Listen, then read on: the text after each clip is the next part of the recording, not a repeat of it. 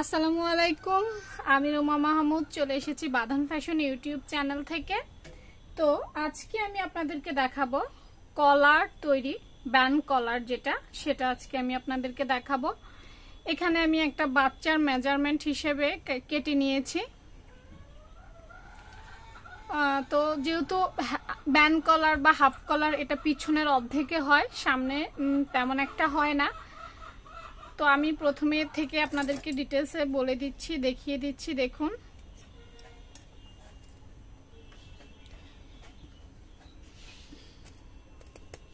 এটা হচ্ছে আমার যে জামাটা তৈরি করব সেটা হচ্ছে ব্যাক সাইড ঠিক আছে? তো ব্যাক সাইডে আমি এখানে আধা ইঞ্চি পরিমাণ রাউন্ড করে কেটে নিলাম। এবং এখানে একটা মার্ক করে নিব। ছোট্ট করে, ঠিক আছে? এখানে এই পিঠে আর কোনো কাজ আমার নেই। এরপর আসছে আমি সামনের গলাতে। আপনার একটা কথা মনে রাখবেন, সেটা হচ্ছে যে, যখনই আপনি কলার তৈরি করবেন, তখন কিন্তু এটা আপনাকে কি খুলতে এবং বের করতে সহজ হতে হবে। তো আপনি যদি সামনে খোলার কোনো সিস্টেম না রাখেন চেইন, বুতাম, হুক বা কিছুই যদি না রাখেন, তাহলে আপনাকে গলা সাধারণত চাইতে এক থেকে আধা ইঞ্চি পরিমাণ বাড়িয়ে কাটিং করতে হবে। তো আমি আমার মাপ মতো বাড়িয়েই কি করছি কাটিং করে নিচ্ছি, আমার হিসেব মতো। আমি সামনে ফিতা বা কিছুই ব্যবহার করব না, কোনো খোলার কোনো সিস্টেম রাখব না সেজন্য। তো এটা হচ্ছে আমার সামনের গলা, ঠিক আছে? তো প্রথমেই যেটা করব, সেটা হচ্ছে এখন আমি এটা গোল গলা যেভাবে ঠিক পট্টি তৈরি করে, আমি ঠিক সেভাবেই এটা তৈরি করে নিব।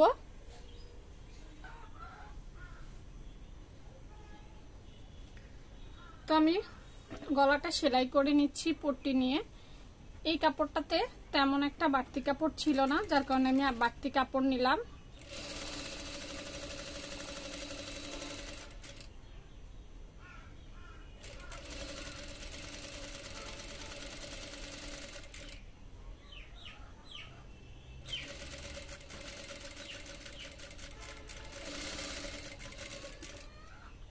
পট্টিটা আমার সেলাই হয়ে গেছে। তো আমি এটাকে ছোট ছোট করে এখন কেটে নিব। সাধারণ, নর্মাল গলা আপনারা যেভাবে তৈরি করেন, ঠিক সেভাবেই।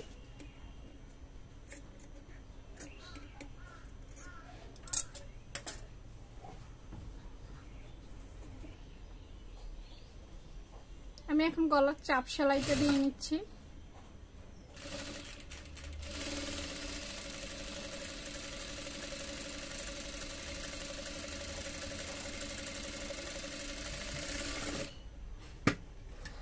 নতুন মেশিন তো একটু হ্যান্ডেল করতে কষ্ট হচ্ছে। এখন আমি পুরোপুরি এক্সপার্ট হইনি। ওকে, তো আমি গলার যে পট্টিটা সেটা সেলাই করে নিলাম। এখানে আবার একটা চাপ সেলাই দিয়ে নিব। আপনারা দিতেও পারেন, নাও দিতে পারেন, কোনো প্রবলেম নাই। আমি দিয়ে নিচ্ছি।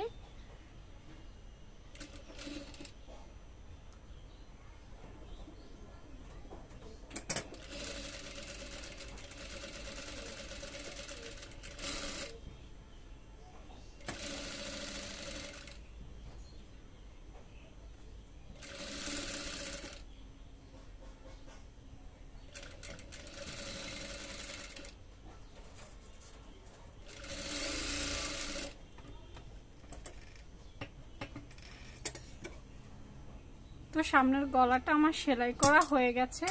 এখন এখানে আর কোনো কাজ নাই। আমি পিছনের যে ব্যাক পার্ট আছে, সেটা এটার সাথে অ্যাটাচড করে দিব, অর্থাৎ কাদ লাইনটা সেলাই করে নিব।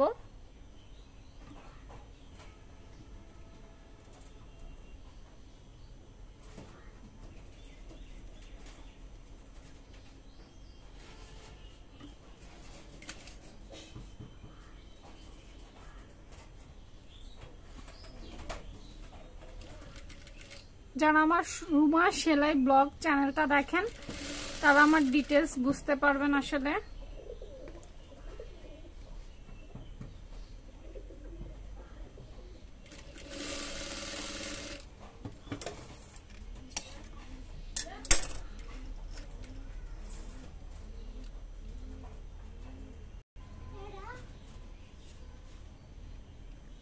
ওকে এবার আমি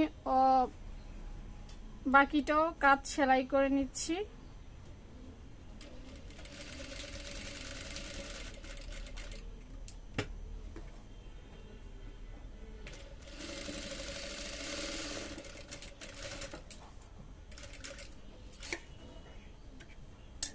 আমার দুটো কাজ সেলাই করা হয়ে গেছে।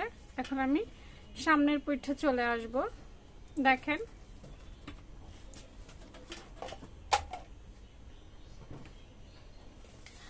আমার কাজ সেলাই হয়ে গেছে এখন আমি যা করব সেটা হচ্ছে যে আমি কতটুকু থেকে কতটুকু পর্যন্ত কলারটা দিব সেটা মেপে নিব।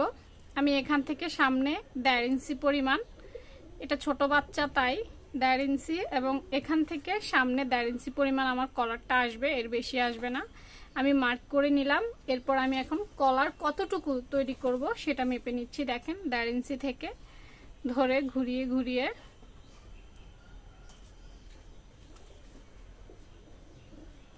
আমি মাপ নিয়ে নিলাম। আমার এখানে প্রায় পৌনে নয়, ঠিক আছে? প্রায় পৌনে নয় হয়েছে আমার কলারটা। এখন আমি পৌনে নয় ইঞ্চি একটা কলার তৈরি করব। বক্রম দিয়ে, এখান থেকে আমি কিছু বক্রম কেটে নিচ্ছি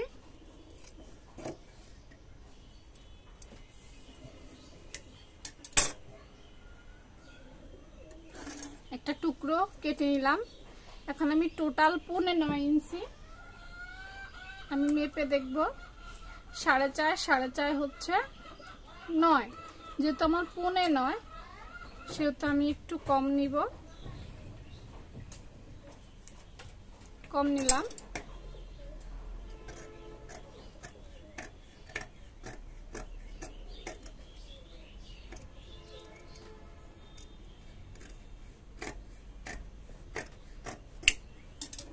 পুরোটা আমার পনে নয় আছে কিনা আমি এখন একটু মেপে দেখব।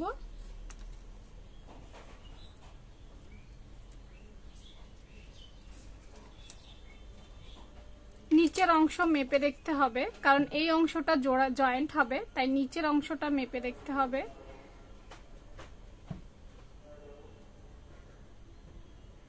আচ্ছা আমার একদম পনে নয় কারেক্ট হয়েছে, ঠিক আছে? পনে নয়, একদম কারেক্ট হয়েছে আমার, মেপে দেখেছি। এখন আমি এই কলারটাকে সেটিং করব এই পট্টিটার উপরে।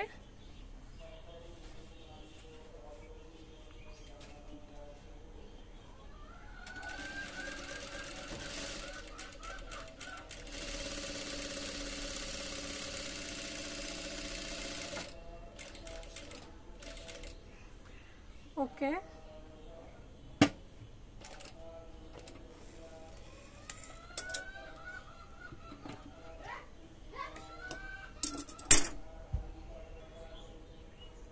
পার্ট হয়ে গেছে। আমি এখান থেকে এখান কেটে নিব এইভাবে। আধা ইঞ্চি পরিমাণ বাড়তি রাখব। এটাকে মুড়িয়ে সেলাই করার জন্য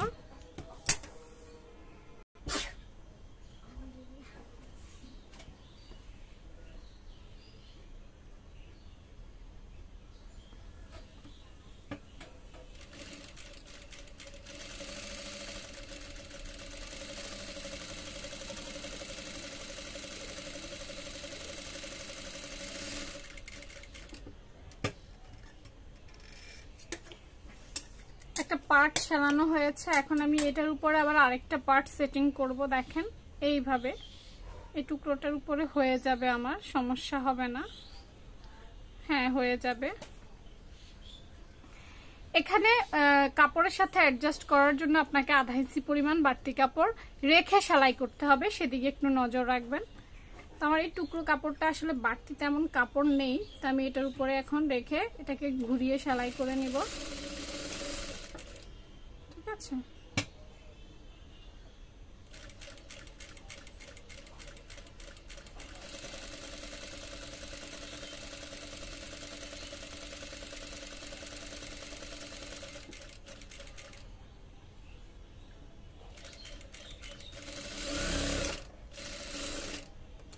মেশিনটা এখনও হ্যান্ডেল করতে পারি নাই।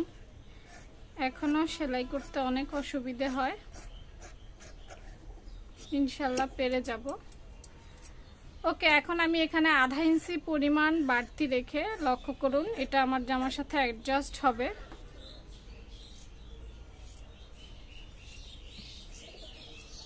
এই যে, কি করে ফেললাম? আধা ইঞ্চি পরিমাণ বাড়তি রেখে আমি এটাকে কেটে ফেললাম। এরপর ছোট ছোট করে একটু কেটে নিব, যেন এটা শেপটা ভালো আসে সামনের পিঠে নিলে। এই যে, এখন এটাকে ঘুরিয়ে নিচ্ছি। সমান করে ভাজ করে, লক্ষ্য করেন, একদম সমান করে ভাজ করে আমি কি করব? এখানে একটা মার্ক দিব, একদম মিডলে একটা মার্ক দিব। এটা সেলাই সুবিধার জন্য হ্যাঁ এটা দিলে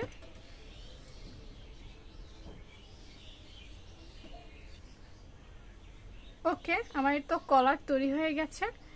এখন এই দেখো, যেটা আমি গলা তৈরি করে রেখেছিলাম জামাতে, সেই এখানের মিডল পয়েন্ট এবং এখানের মিডল পয়েন্ট ঠিক আছে? রাখতে হবে। তুমি যে কোনো একটা সাইড থেকেও সেলাই স্টার্ট করতে পারবে, আবার মিডল থেকেও সেলাই স্টার্ট করতে পারবে। তো আমি যেটা করি, আমি সবসময় মিডল থেকে সেলাই স্টার্ট করে নিই, ঠিক আছে? তাহলে আমার জন্য সুবিধা হয়। তোমরা তোমাদের সুবিধা মতো সেলাই করে নিবা।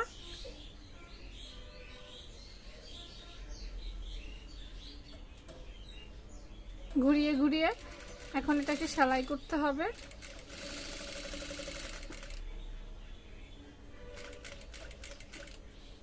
তো ওই যে আমি মার্ক করেছিলাম, মনে আছে? দেড় ইঞ্চিতে?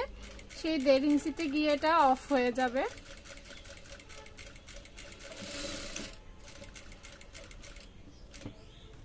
ওকে, আমার এটা দেড় ইঞ্চিতে গিয়ে অফ হয়ে গেছে অলরেডি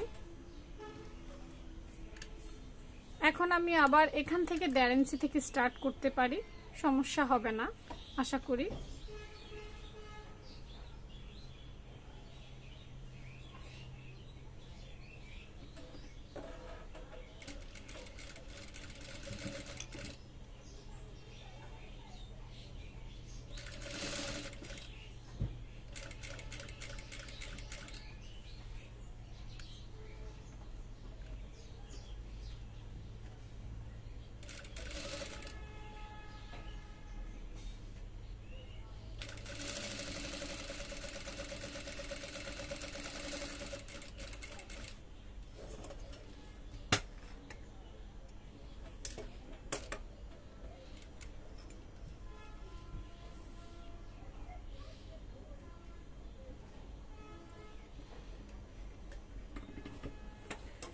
ওকে, আমার যেটা হলো এখন।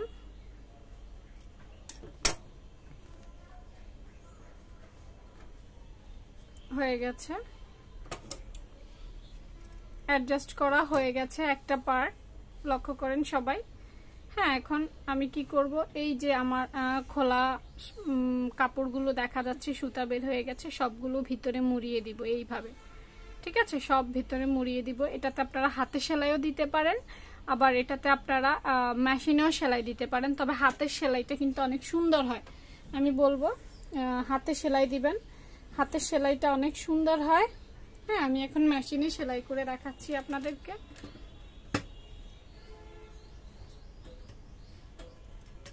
খুবই ডিস্টার্ব করছে আসলে আমার মেশিনটা মেশিন ডিস্টার্ব করছে না আসলে। আসলে আমি পাচ্ছি না, ঠিক আছে? আমি পাচ্ছি না নতুন মেশিন তাই আমি পাচ্ছি না। মেশিনের কোনো দোষ নেই।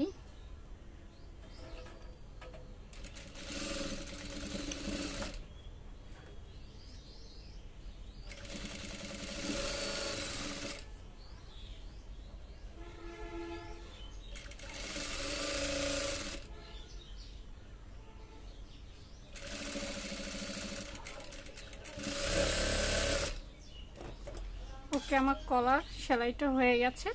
আমি আরও ভালো একটা ভিডিও দেওয়ার চেষ্টা করব। ঠিক আছে? এই হচ্ছে আমাদের হাফ কলার বা ব্যান্ড কলারের সেলাই। এটা আয়রন করতে হবে। ঠিক আছে? এই যে পেছনের ব্যাক সাইড মেশিনের প্রবলেমের কারণে আসলে ভালো করে কিছুই করতে পারিনি। তো সবাই ভালো থাকবেন সুস্থ থাকবেন। আল্লাহ হাফেজ।